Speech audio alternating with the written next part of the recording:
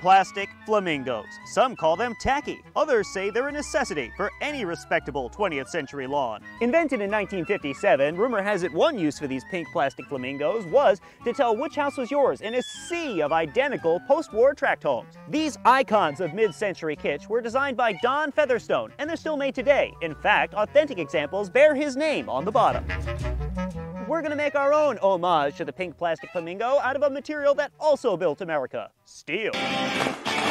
So I've got a rough sketch of what our sunglass wearing pink flamingo is gonna look like. Now we're gonna transfer that design onto the steel we'll be making him out of. Okay, so he's got sunglasses, and he's got a wing, and I'm gonna add some details here by his tail just to make him look a little bit more realistic. You know, because that's what we're going for. And now we're gonna cut out our flamingo using this. And for the details, I'm going to use a pair of tin snips. Now that we've got all our pieces cut out, we're going to start welding them together. I'm going to be honest with you.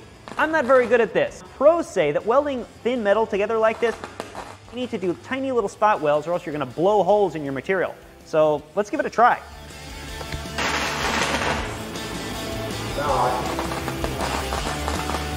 Well, if you want to know how to punch holes in sheet metal with a welder, that's how you do it. Not that great. I'm going to end up having to do body work on my flamingo.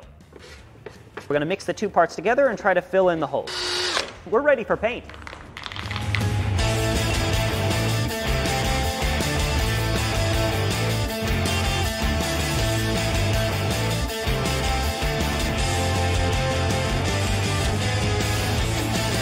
Well, I don't know what else to say. If you've never seen a pink flamingo made out of steel before, now you have. John Prentice, Seattle Refined.